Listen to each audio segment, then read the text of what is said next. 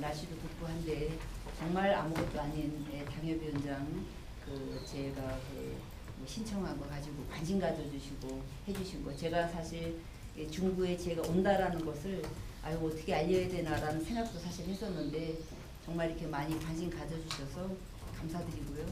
예, 좋은 기사 많이 쓰시게 제가 열심히 좋은 일 많이 만들어내도록 잘하겠습니다. 고맙습니다. 수고하셨습니다. 네, 고맙습니다.